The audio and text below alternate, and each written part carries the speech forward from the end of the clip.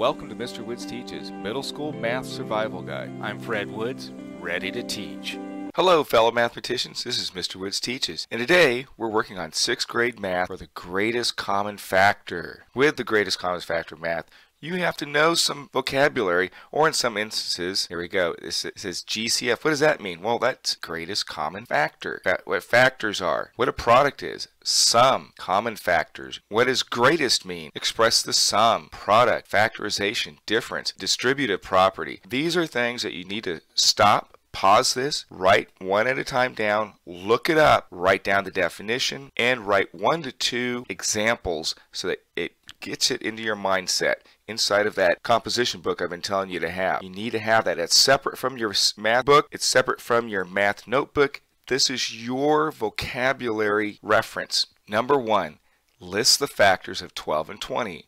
Circle the GCF or the greatest common factor. Well, many times you're going to see it on a test like this. If you have space, I highly recommend is that instead of doing it here like this going across, you do it down. And i am going to make this simple for me so that you can see it easier. Notice how I put where it says factors of 12 and factors of 20, how they're side by side as opposed to one on top of the other. And the reason for that is because what is a factor? Well, a factor, if you recall from number bonds, is that you have a number here, number here, here, and if I have a 5 here, and a 4 here, that number bond for multiplication is going to be 5 times 4 is 20, or 4 times 5 is 20, or 20 divided by 5 is 4, or 20 divided by 4 is 5. See how that works? So these are factors, but there are other factors for 20. Let's take a look.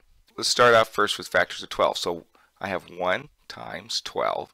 So 1 right there. It's divisible by 2 as well. So 2 times 6. 3 times 4, right? And again, I can have it here where it's 4 times 3. And you get the idea of where I'm going with this. These are the factors that I'm creating. But to make it so that it's more readable and legible, I'm going to stop this for a moment and put it all up in line. Okay, this is a little bit cleaner so that you can read the numbers clearly and you can see what's going on. So all of these are the factors, but many times your teacher wants to see it a different way and they'll want to have it in order. So it's going to be 1, 2, 3, 4, 6, 12. And those are the factors for 12 right here. Let's look at the factors for 20. Well, the factors for 20 are 1, 2, 4, 5, 10, 20. And we're looking for is the greatest common factor. So we can see that there's common factors here. That 1's a common factor, 2 is a common factor, 4 is a common factor. Are there any other common factors? No. So what I can do is I'm going to circle here this is the greatest one. It's the largest number that is common factor between 12 and 20. So there we go. So circle the GCF.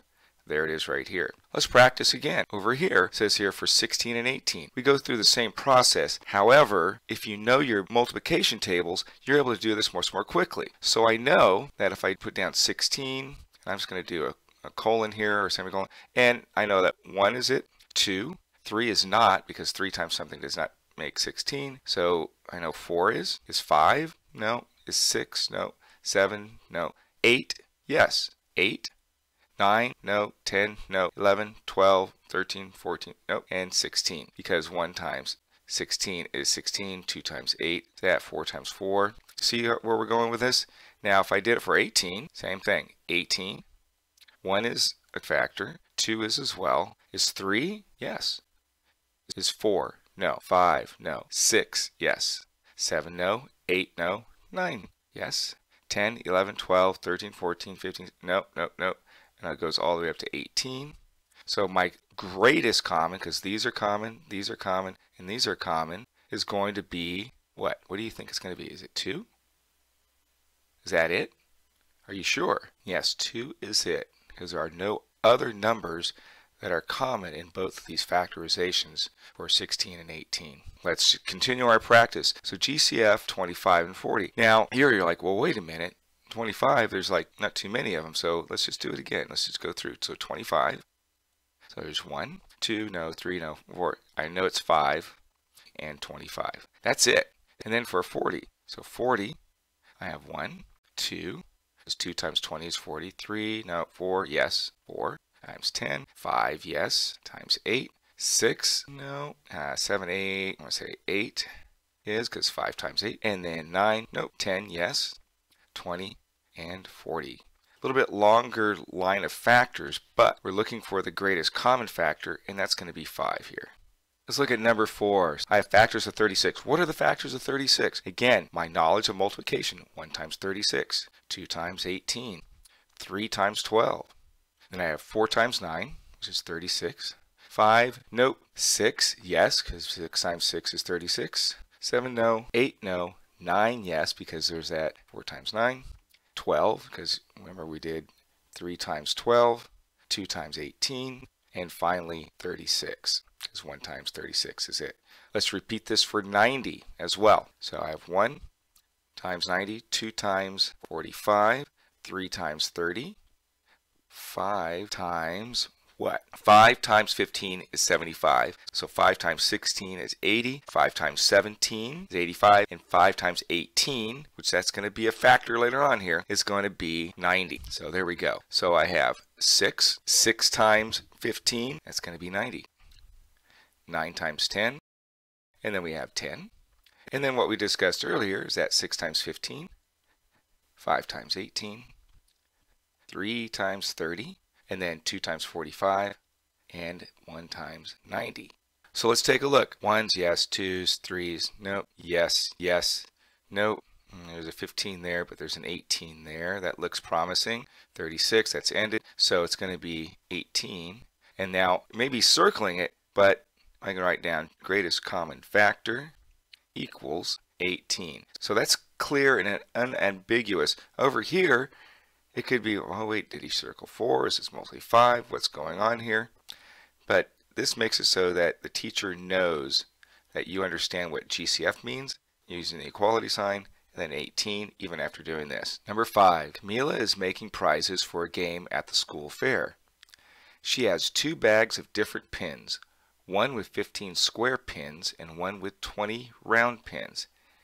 Every prize will have one kind of pin. Each prize will have the same number of pins. What is the greatest number of pins Camila can put in each prize? So we're trying to find that greatest common factor. We could have said, well, what's the least common multiple? But we want to have the greatest number. So let's do the factors. So I'm just going to say factors. So I'm going to put F factors and work with 15. 1 times 15, 3 times 5, and there's that 5 and then 15. I'm going to factor 20. 1 times 20, 2 times 10, 4 times 5, there's that 5, 10, 1 times 20. So the greatest common factor is going to be 5 here. And we can say that the GCF equals 5. But are we done? No, we actually need to explain the answer. Here I've written it out. The greatest number of pins Camila can put in each prize is 5. See how that answers it? This gives you the number that's going to be that greatest number. But we need to explain it because it says here, what is the greatest number of pins Camila can put in each prize? And look at this. The greatest number of pins, the greatest number of pins Camila can put in each prize, can put in each prize is. This is where I'm getting that sentence from. So that is the answer for the question not just finding out the number. Number six, Emilio is a pet shop manager. He wants the same number of birds in each cage. He wants to use as few cages as possible, but can only have one type of bird in each cage. If he has 42 parakeets and 18 canaries, how many birds will he put in each cage? Well, let's see here. He wants the same number of birds in each cage, few cages as possible, only one type of bird in each cage, and if he has 42 parakeets and 18 canaries. So those are our numbers that we need to find the greatest common factor for. Well, let's take a look. So let's start out with 42. And that's going to be 1 times 42, 2 times 21.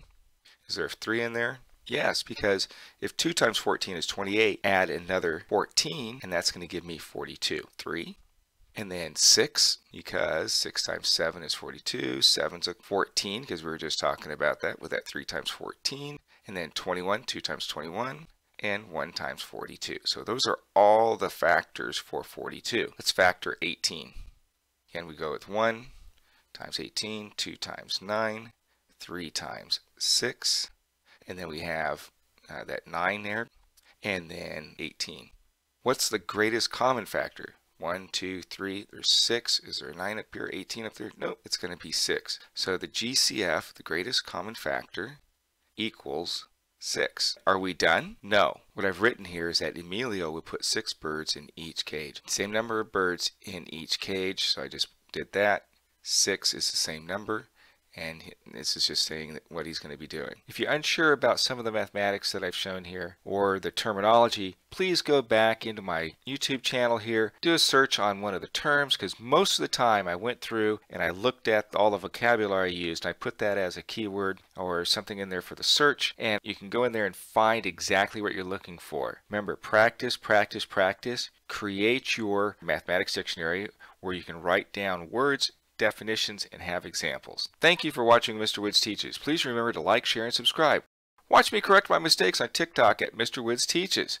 Till next time, remember, to be a math person, all you have to be is a person that does math.